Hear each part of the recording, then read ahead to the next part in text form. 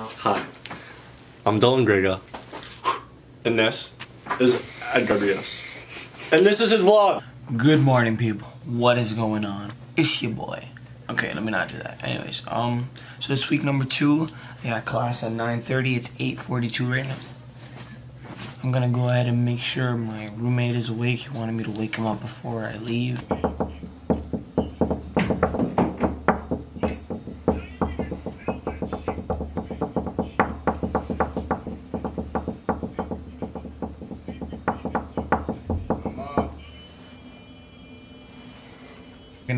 Gonna to get some food. I got a mat. No, I have a climatology test today. I'll fill you guys in on how that went. I take it. I feel super tired. I went to sleep like at 4 a.m. yesterday playing a freaking game.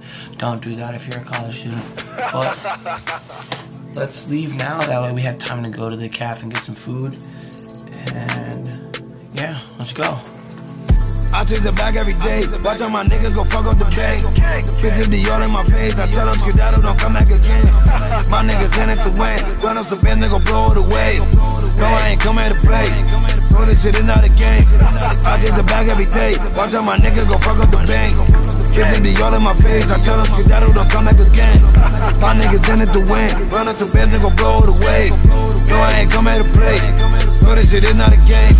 I take the bag every day. Run up the spitter with gang. Fuck is you saying? Stuck in my bed, then I fly out to Cali and make it again. Call me J Benz. Bitches be coming and going and on like, where's your man? What is your plan? I'm counting up and not giving a fuck. I'm collecting the tuck and I'm locking it in. Gang, gang, gang. Alright, you guys, so I just got done with my first class. Um, it was math, my math class. My, the earliest class I have throughout the week. Um, it wasn't bad at all. Uh, we have a, we just did some reviewing for the test we have on Thursday. Um, I don't know, on the second week of classes. We just kind of expected, I don't know, but um, yeah, I'm, I'm, I got a break until probably like about 1:30 when it's my next class. So I got a package in the housing office that I gotta go pick up, and it's most likely my medications from my doctor. So I'm gonna go ahead and pick that up, and then I'm gonna head back to campus to um, study for my climatology exam. I'm kind of excited to head back to the housing office. I used to be an RA. Oh shit, something on the lens. I used to be an RA here on campus, so I'm really, uh, I'm kind of friends with everyone who works in there, and we kind of built a nice little relationship. And uh, it's exciting to go back in there, and it is snowing. It's really white out here, so I'll check in with you guys uh, when I start studying. All right, I'll see you guys then. All right, peace. I just got back from the housing office, but on my way back up, I met with um, the public relations guy from here because I'm trying to be a bridge between the studio that I'm trying to work for plus the school. That way, we can probably get a teacher from the studio up here. So, me and him just have a, had a little discussion based on like what we th- things that needed to be done in order for that kind of thing to happen because they're both two separate institutions. You got the dance school and the college. Now I'm sitting here with my homie Elicia. She's yo, show your face in there. Come on. Who are you? Who are you? Elysia. Introduce yourself. Come on. What, what do you do? You what you do is a pretty big deal. Like you swear it's nothing, but I swear to God, you're. Go ahead. I'm not gonna say it. You say it. Well, I dance for a professional AHL hockey team called the Utica Comets. She's a Utica Comet dancer. And yesterday I danced nationwide on NHL Live. You see, like, I just danced on NHL Live. It's no big deal. I literally hate you. And before I spoke with her, I talked with a guy named Austin Green. He's interested in being a model, and I literally just sat there and preached to him for like 30 minutes, and he had so many questions on like being a model, a runway model, photo models. It's complicated, alright? If you guys want, I can do an entire video on talking about that. But just got some really exciting news here. The flyer for the workshop class that I'm doing. Can you focus on, please? Okay, this camera is just so focused on me, and I appreciate that. But I wanted to show you guys this. It's dope as fuck. It's gonna be on my Facebook page. If you're in the area, Herkimer, Utica, New Hartford area, I would definitely recommend taking this beginner hip hop class.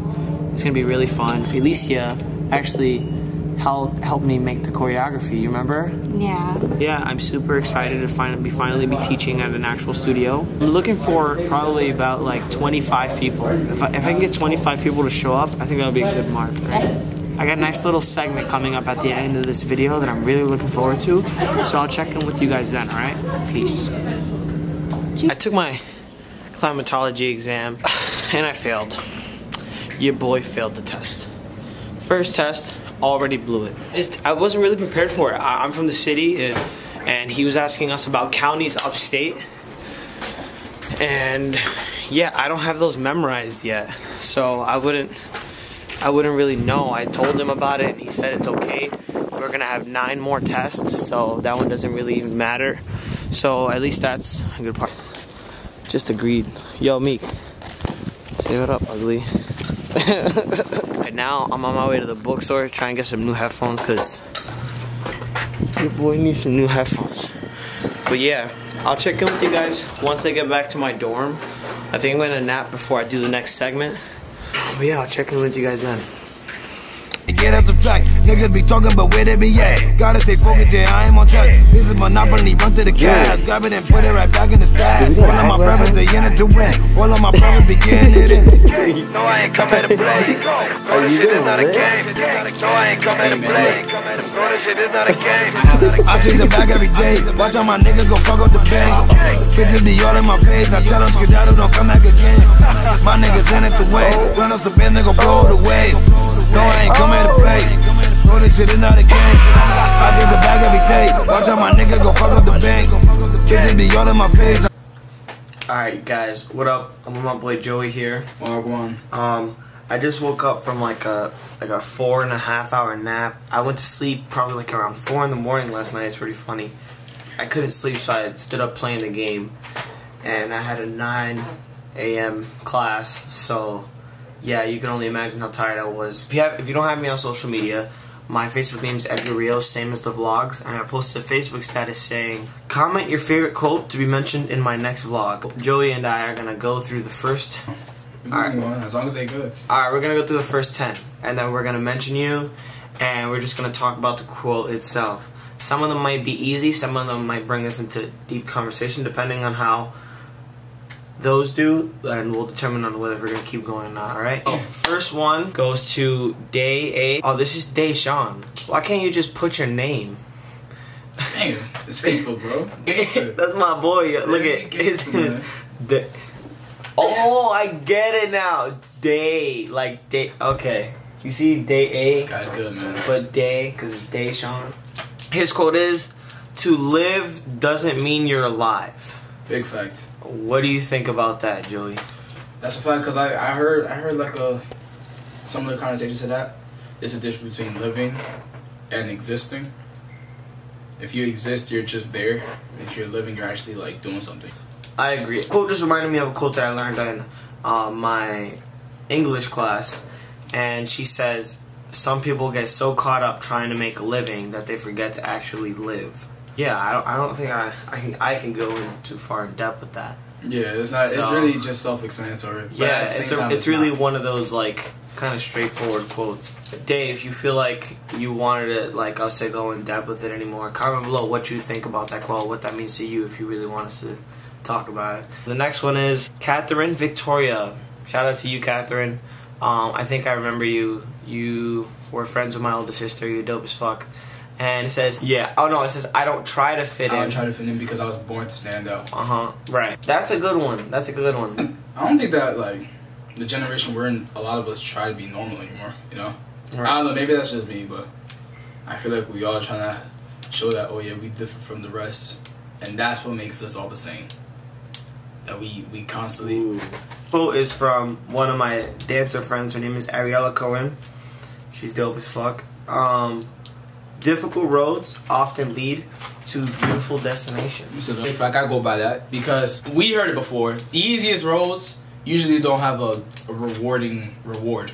If you know what I mean, like Yeah, yeah. It's not Like, really okay, that. if it was that easy, then everybody would do it. If everybody can No. do it, then there's not enough reward for everybody. But if you taking that difficult ass road where you tripping on rocks, you stumbling, everybody like, nah, you ain't gonna make it. You ain't gonna make it, man. You see how high that fucking mountain is? And you make it to the top.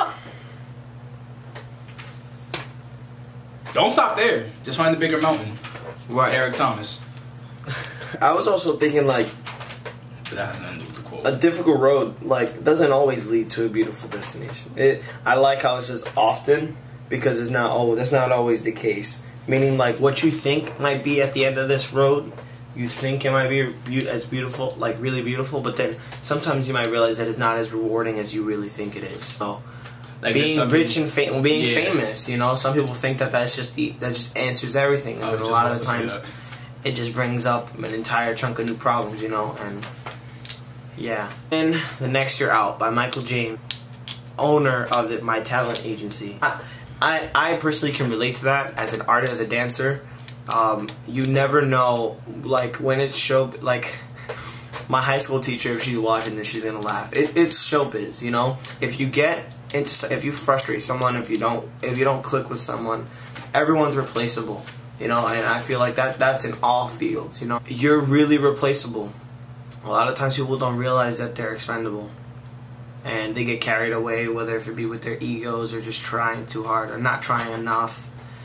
And people, yeah, that's Yeah. I don't know. I'm just go. I'm just talking. Let's keep going.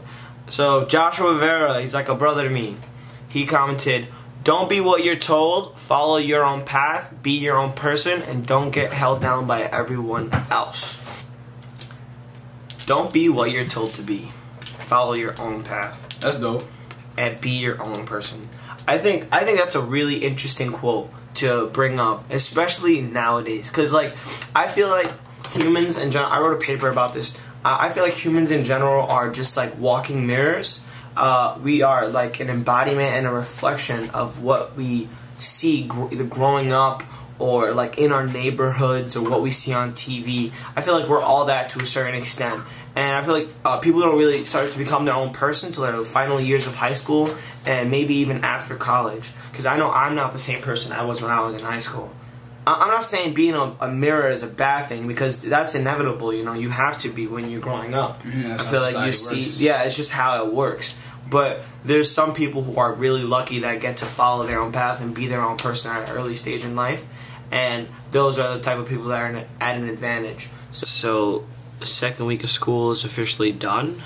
Um, I hope you guys like this segment of us talking about the quotes with you guys. Um, I am desperate to bring bring value to these vlogs besides just showing you guys how I live my life and just bringing you guys along. Yeah, I hope you guys really got something from it. Again, like I said before, comment below if you interpreted any of the quotes any differently. Let's make this a conversation this week. Um, I got some homework to do besides that, on top of editing this video. So I gotta get to that like right now. So I'm gonna end the vlog here, right? Today's history, tomorrow's a mystery, and that's why it's called the present. Let's go. Back every day, watch all my niggas go fuck up the bank. Bitches be all in my face, I tell them skedaddle, don't come back again. My niggas in it to win, run up some bend, they gon' blow it away. No, I ain't come here to play. So this shit is not a game. I take the bag every day, watch all my niggas go fuck up the bank. Bitches be all in my face, I tell them skedaddle, don't come back again. My niggas in it to win, run up some bend, they gon' blow it away. No, I ain't come here to play.